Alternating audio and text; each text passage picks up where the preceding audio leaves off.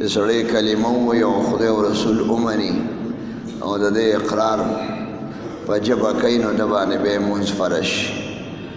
او د مونځ نه پس به دویم حکم زکات دی زکات نه پس دریم حکم هغه روژه ده او څلورم حکم هغه حج دی دې پنځو واړو ته دغه وایي پنځه ستنې د اسلام وایي سړی به د دې احکام نور هم ضروري خبرې چې په دین کې څونه راغلي دي یقیني ثابت دي هغه ټولو باندې زمونږ ایمان دی یو عقاید وي نو سړی به هغه هم زده کوي هغه ته علم العقاید وي او علم الاعتقادیات الله منل د خدای پیغمبران منل آسماني کتابونه منل آخرت منل او الله تقدیر منل دا ټول نظام د خدای په علم کې دی هغه چلی هغه پیدا کول کوي د هغه په امر سره او حکم سره هر سره دی او دوباره جون د حق ته مونږ به خدای پاک د قبرونو نه جمدي را پاسي او دا ټول ضروري خبرې مني قرآن شریف کې راځي الذين يؤمنون بالغیب غیب کې جنت او دوزخ او دارنګ الله منل الله موږ ته نخ کاری او ملائکه موږ ته نخ کاری هغه رستو چې کوم د آخرت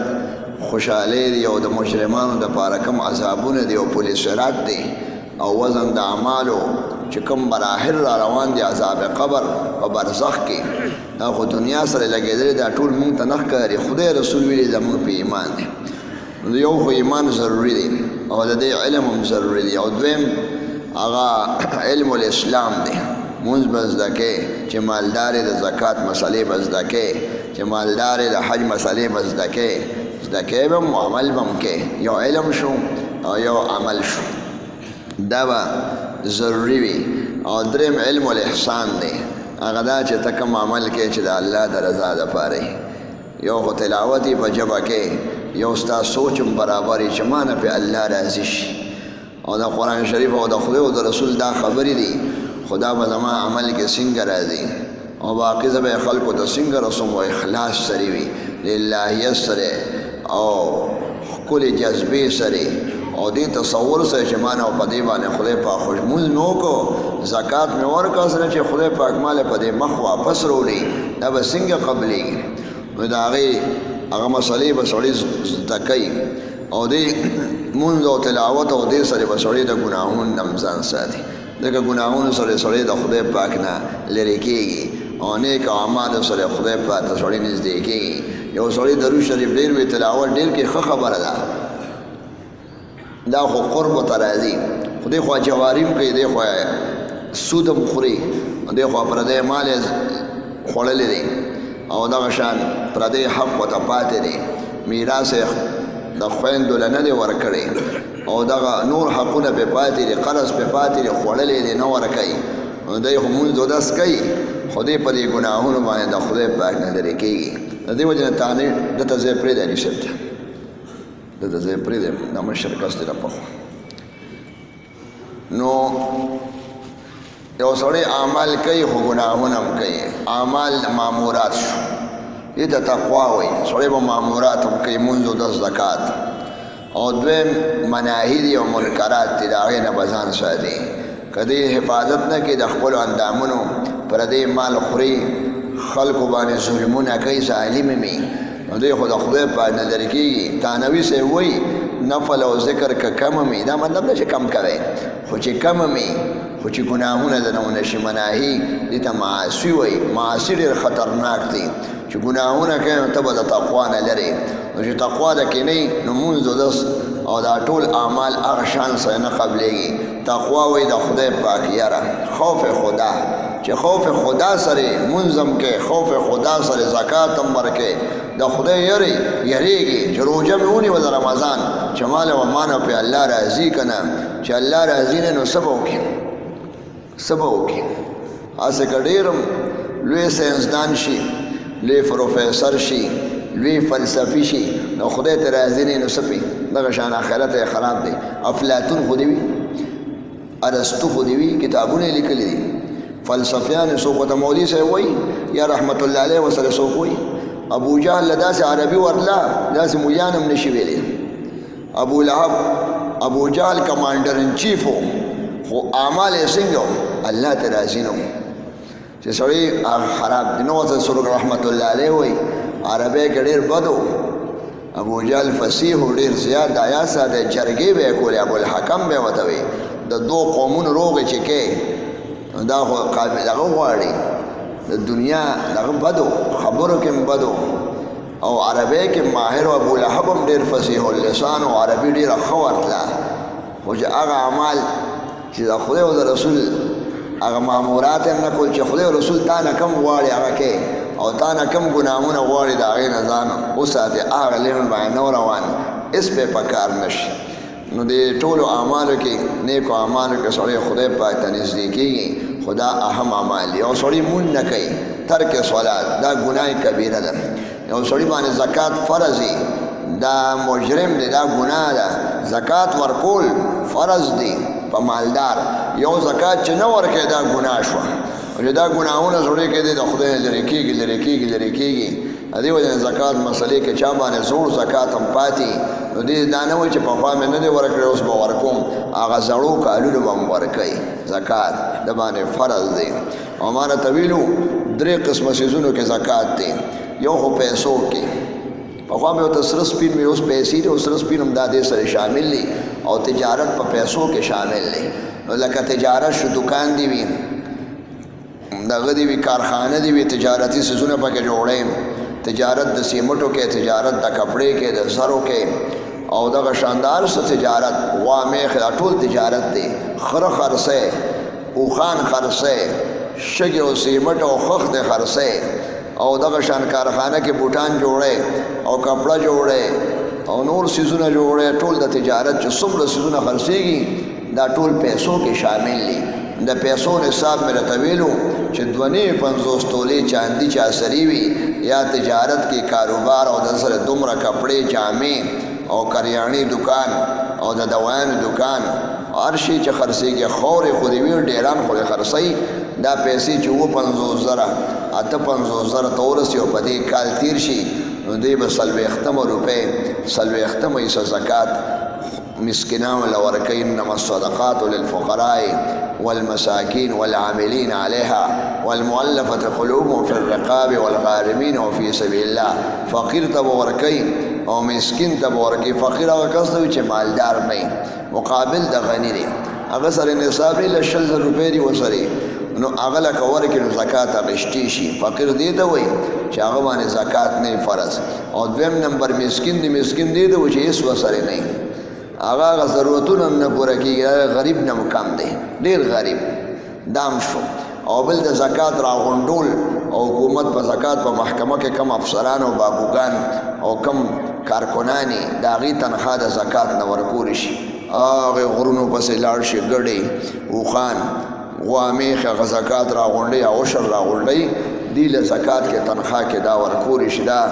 دا خادمان د فقراو شو دا دریم شو والغارمین او تاوان کې راغلي دیوالیه شوي او دغه شان یو بوج پرې راغلی قرضو کې ګیري څه کارخانې ټوله وسوځي ټول مال یې هلاک شي قرضونه هم پرې وي نو دې خلکو له سړی ورکولی شي زکات وفي سبیل الله او د خدای په لار کې وي دین زده کوي خلکو ته دین رسوي او وي غریب نو هغه له ورکولی شي یا حج کې ته پیسې روکې شي اوس سیم نشته سوال جواب کریم نشته ته زکات ورکولی شي جس ټکټ ځان له والي او ته ورته د کور کرۍ او ډوډۍ پرې خوړی شې نو دا لار کې ورسره پیسې خلاصې شي او دغه شان رارسي ورته نه اګر چې کلي کې پیسې ډېرې دي نو د خدای په لار کې وي تبلیغ کې وي علم کې وي او دې له پیسې غریب له ورکول شي مولفت القلوب چې د اسلام په سرحداتو باندې وي او یا د هغې نه یری کچ کمزوري مسلمانان نو خاص صورتونو کې هغې لم سړی ورکول شي غلامی پخوا به غلامانو مالک به آزاد که پیسې به ورسره نه وي هغه له هم سړی ورکولی شي خیر نو دا خو د پیسو زکات شو دویم نمبر د سارو زکات دی ساروي خو اوس کم دي خو بعضې علاقو کې وي په غرونو کې او په صحراګانو کې نو سارو کې درې قسمه سارو کې زکات دی ځنګلي سارو کې زکات نه سړی کله ځنګلي میخي وي ځنګلي ګړې چې لې هغې کې زکات نشته که خرسۍ تجارتي وي نو بیا تجارت ته وړې ده او هسې ځنګلي سارو کې زکات نشته او زکات په درې قسمه سارو کې د ګډو چیلو کې او واو میخې کې او خانو کې دا درې قسمه ساروي دي او مفتابي قول دا چې په اسونو کې زکات نشته د شام کې ترکستان کې خراسان کې به اسونو نو اسونو کې زکات نشته امام صاحب وایي او په خرو کې هم زکات نشته یو سړي سره درې سوه خره دي که نه او هسې په ټانګې چلې کلی ریړې او مفتې ګیاګانې خوري او په خرو کې زکات نشته او په خچرو کې او دغه شان په ځنګلي حیواناتو کې او سارو کې هغه زکات نشته د ګډو خپل ګډو او خانو غوا میخو کې زکات الوي چې اکثر حصہ د کال مفت غیا خوري کور کې هم ولګیا ورکې سل ګړي دي او بارم خوري نو که داسې زیات د نیمې نه هلته خوري مفته نو باس هغې کې به زکات شو څلوېښت ګډو کې یو ګډه زکات وي زکات کې چې کومه ګډه ورکوي به د کال پوره او پوری حکومت اسلامی حکومت هم د ګډو ښکارا مال زکات اغشتي شي هم د دغه کلی غریبانو لبه ورکي د د ګړي وي سلور سو ګړي دی پار سلور ګړي زکات دی پکې نو دی با نغوي دو سو ګړي وي نو دی و پکې درې ګړي زکات ورکي د دو سو دغه نو وړي نو دی با زکات پکې ورکي چې څومره د خپل نصاب دی نو شپږ شل پورې یو ګړي دا ګړه به د کالي او چې لې او ګډه کې مکس وي مکس دواړه یو شانی نو کم چې پکې ډیری لکه سلويخ ګډه چې لې دي کنه ګډه وړي نو چې کم پکې چې لې پکې دیر شي ګډه پکې لاستي نو سلوي خوشي نو سلويخ ته کې ډګړو کې یو ګړه ده نو که چې لې ډیری چې لې به زکات کې ورکی یا د هغه پیسې او که ګډه پکې د نیمه نه زیاتې نو ګډه ورکول شي دا مسله ده که ټولې اعلی وي اعلی به والي او که ټولې خرابې په منې ممنې څلوېښت او داسې کمزورې بیماري نو بس هغه بیمار هم زکات کې ورکول شي او که داسې څه روغې جوړې وي نو داسې درمیاني او په زکات کې ورکړي څومره د خدای پاک فضل دی ټول مال دې پاک شي الله درنه خوشحاله شي دا مال او جان خو ټول امانت دی دا بدن امانت دی تا نه به خدای پاک د څلورو څیزونو تپوس کوي په آخرت کې اول تپوس د عمر تپوس دی سکه تیر کړو کرټول د په کرکټ میچ ته ناسوي یو میچ پسې بل میچ او بل میچ پسې بل میچ او بل میچ پسې بل میچ بل سکار نشته والد صاحب مې کرکټ ډوډۍ ده که جامې دي که څه دي مزدور څه دي څومره دا جون د دې لپاره دی ځان له لوبې کا ورزش کا وککې دا د خدای یو خلکو مقصد نه دی چې بس اوس پکې د خوځو کې چې نو لو پټش کو بدن اخکاری او مخ اخکاری نو الله وسته پوس کې اخرت هم را روان دی او دا دنیا خو ډېره زر فاني کېدونکې چې ورځ تېره شوه دا جمعه تېره شوه مونږ پرې پوه نه شو چې جمعه تېرېږي میاشت به نه تېرېږي کال به نه تېرېږي عمر به نه تېرېږي تېرېږي به څه کوې نو د عمر تپوس شته او علم باندې عمل تپو ضروری دی او مال دې څنګه ګټل او څنګه لري خرج کړو دا کرکټ میچ اغشته او صرف نه انټرنیټ ته سو ته وای هم دا کارډونه دې اغشتل او فوټوان دې قتل دې ټولو تپوش ته الله دې مونږه تقوا نصیب کی تقوا لا چې مال او جان کې د خدای د حکم مطابق وخت تیر کې نو سرخرو وای تا باندې خدای رحم کول غواړي عائشې بي بي کړې او سوالګره ښځه راله استرا ککنه غریب ورکه ولاړه او دوه لوریانې وسرې وي نو هغه یو قتل کچن میچن چې سو نو په ایس وکړې نو یو قجوره پرته وه دریم نه چې درې ولې ورکې یو قجوره ونه بس هغه مور له ولا ورکه او بیا هغه مور یې کجوره نیمه کړه، نیمه یې یو جینۍ له ورکړه، دوه ماشومان یې وې او نیمه یې بل له ورکړه، په خپله یې ونه خوړه، نو دا ورته حیرانه وه چې څومره مینه ده، د دې مور په دې بچو خوږېږي. نو حضور علیه السلام چې راغی، ورته وایي، وختي یوه غریبه ښځه راله، څه وغوښتل که نه، ډوډۍ وغواړي، مسافر یې که، نو ما ورله یو کجوره ورکړه، دوه یې مو وم نه، یو دانه وه، نو هغې نیمه کړه، نیمه یې یو لور له ورکړه، نیمه بل. خو زه حیران شوم چې دا رحم په دې بچو باندې دی د دې زنانه که نه خپلې ونه خوړه هغې دی ورکړه نو حیرانه وه نو حضور علیه السلام دغه ته وایي حضور علیه او ډېر هوښیار او حضور علیه السلام ته وایي چې دا زنانه به دغه لکه دې پورې وي که دا زنا دغه حضور علیه السلام ورته وایي چې اور ولګي او څوک د مور به وغواړي چې دا دواړه لوریانې اور ته وغورځول شي یا جهنم ته به اړه شي اور ته به اړه شي اور ته وینا اور ته به خړنه شي چې د خولې خجوره ورکي نو دا به اور ته سنګړ شي خو بچ کول غواړي وی خدای پاک د دې خوږې مور چې په بچو سونه مینه ده دین او یا چند نه زیاته مینه ده نو خدای پاک به دا بندگان څنګه جهنم ته واچي ځکه او د پیغمبران هم راولېږل آسماني کتابونه ورته راولېږل ایمان او اعمال ورته راولېږل اخلاص او سخاوت او بهادری او د دین غیرت او حیا د خپل اخلاق او خپل صفات راولېږل چې زه دې د دوزخ نه بشي اختیار هم ولا ورکړی دی اگر چې هغه اختیار د خدای اختیار کې دی نو په زک دغه خو زمونږ د پاره ټوله ګټه ده نو سارو کې هم زکات دی په اوښانو کې هم دی نو اوښانو خپل پنځو اوښانو کې یو ګړی او لسو کې به اوښانو کې دوه ګړی او چې پنځه شو خان شي نو به پکې د یو کال جونګې د مؤنث او دا سه به شپږ دیر شو کې د دوه کالو بچي او دغه کې شپږ څلوېښت شي نو د درې کالو بچی او چې یو شپېته اوښان شي نو د پنځو که څلورو کالو بچی اوښه هغه به ورکوي او که هغه نه ورکوي پیسې به ورکوي داسې د دې غوانو او میخو کې دېرش میخو کې یو کال سخی ده او یا سخی سخی او سخی برابر دی که سخی ورکې دیر شو غوانو کې او دیر شو میخو کې او که کټا ورکې او که کټې ورکې نر او خزه د دې اختیار دی که د چا غوا میخې مکس وي شل غواګانې وي لس میخې وي نو غوا بچې دې پکې ورکي او که میخې زیاتې وي د میخې بچې دې پکې ورکي ته مونږ کټا او کټې وایو یا د هغې پیسې دا ټول داسې دا ساروي شو او دریم نمبر د فصل زکات ته ته عشر وای د پټو دا یا ساته د پیسو زکات او د سارو زکات کال پس راځي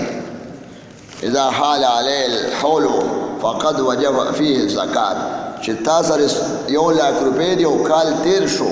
نو دونیم زره زکات ورکې او سلویخ دو زرو کې زر دی او په فصل کې دا ده که ستا اوږه وشوه ستا غنمو شو ستا د انګورو باغ دی انګورو شو ستا ګلونو باغ دی ګلونه خرڅوې او دڼیا ده کرې او دغه شان نور باټینګن کرې او بنګلې کرې او ساک کرې او مټر کرې څومره سبزی دی او ټینډې او بنګلې او دغه شان دا نور سیزونه ډېر زیات دي مسالې دي قسمه قسم دا ټول سيزونه کرې نو چې کله فصل وشي او فصل ستاوي نو تبه فصل پس زکات ورکې د فصل زکات په غریب هم شته او په مالدار هم شته او د سارو هغه کې نصابونه دي او زموږ امام صاحب وایي په غله کې او په دغه کې سبزه کې او د دانو کې د کې نصاب نشته کستا عشر عشر دوه قسمه یو داسې پټی وي چې په باران په اوبو باندې ودې اوبه کېږي او د سیند غاړې ته یې باراني علاقې وي نو هغه کې عشر ایک بټه دس ته وایي یعنې ته به لسمه ګېډۍ زکات ورکوې ته به لسم کریټ د ټماټرو لسم شکرې د باټینګڼې بنګلې وي لس شاپرې وشوې نو ته به یو شاپر او لسمه دړی لسم من ورکې او چې کم کم فصل په ارټ باندې کېږي هغې کې بټه بیس عشر دواړو ته عشر وایي خو دوه قسمه ځمکې دي نو عشر دوه قسمه دی یو ځمکه په هره ټوبه کېږي په ټیوبل او په خور ورته کوي پیسو باندې ول اوبالې یاره وباسي په هر څه طریقه یې او هغه بل چې د باراني دی کله کله اوبه خوره مو کې او زیات په باران اوبه کېږي د نیمې نه زیات نو بس هغې کې به عشر لسمه ده او دې کې عشر شلمه ده نو ځمکې دوه قسمه ده نو عشر ځکه دوه قسمه شوی دی یوه دویم دا دی که یو غریب سړی وي خو زمیندار وي او که مالدار وي چې بس بنګلی ټماټر او سا کې وشو همدغه عشر به ورکوي چې چا پټي وي همدغه ده که یو سړی پټي زمیندار له په نیمه ورکړي چې غنم کاره جوار کاره اوربشې کاره چاولې کاره روجې نو چې نیم فصل هغه واغشت نیم دی هغه د خپل سو عشر ورکي مالک د ځمکې ځکه زمیندارۍ کې شامل دی په حصه کې او زمیندار به د خپل عشر ورکوي که یو سړي په اجاره باندې پټې ورکړي د غنمو او دغه شان د جوارو پټې وي او د غنو پټې وي او د تماکو پټې وي او د افیمو پټې وي افیم کری افیمو کې زکات شته نو چې ټول پټې په اجاره ورکړي نو دغه پکې فصل نشته نه ده خو اوږه نشته ده خو شوتل نشته او باغ یې نشته ټول هغه له یې ورکړی دی خو پیسې یې لري دی به د خپلو پیسو زکات به یې کال پس ورکوي خو زمیندار چې پردی ځمکه هم کري په اجاره نو هغه به د ټول غنمو او د ټول دڼیا او د ټول مرچکی چې څه په مټرو چې څه په پټي کې وي د هغه ټول به دې زکات ورکوي که د خلکو دا زکات ورکول په ټوکې به یې برکت هم او که دی زکات ورکول نو غریبانانو به دی سره یو بل سره محبت او یو بل سره محبت دی دنیا هم خي دغه چې جنگ جګړې وي او غلاګانې ته کوي نو سال به وي دا مسلمان ولې کمزور شو مسلمان په اعمالو نه راغلی نو ملت اسلامیه کمزور دی دغه هغه چې خدای دې سو غواړي هغه شان نه کوي نه چې نه کوي نو دی کمزورې شو نو ټوله دنیا کې پریشانې دي دا یاد ساتئ او چې ملت اسلامي ټیکي ټوله دنیا به قابو کې وي کافرانو زور بم کمی صحابه کرامو جماعت ملت اسلامی ہو عمر صاحب لوچت ابو بکر صاحب لوچت ابو هريره صاحب لوچت ټول خپل خلکو یو جماعت جوړو بس اسلام خورېدو افغانستان ایران، عراق، روم، افریقا، چین پورې ورسېدو پیښور پورې صحابه کرام اسلام راوړ هغه امت مضبوطو نو برکتو او به چې اهل علم ډیر تقواداري نو امت اسلامی به ټکی نو عالم لا او د دین پوهې کس لا به ډیر احتیاط پکار دی چې عالمان ډیر تقواداري او کلګي بس امت به به خکېږي دې وجه خبره بس دکم عمل بم پکې نو زکات دا عشر دا نصاب ولا نشته یوا دویم کال ولا نشته دا نه چې کال پس به د بنگلې او د غنمو زکات ورکړي چې فصل درې میاشتې کې راشي درې میاشتې پس به چې پوخ شي بس زکات به ورکړي که ته غنم نه ورکړې لس منه غنم د باراني ځمکه وشو ته زه د یو من غنم پیسې ورکوم څوارلس سوه من دی چې په څو مني هغه منډی کړي نو ته به پیسې ورکړې پیسې ورکولی شي که یو سړی اوږه وشي او دی وایي د اوږې ریټ دی شلمه ګېډۍ ورکوم او پیسې ورکوم نو دې پیسې هم په عشر کې ورکول شي عشر به چاله ورکوي چې چاله زکات ورکول شي حق خلکو له ورکوي هغه مسکینان دي فقرا دي مقروزین دي دیوالیه شوي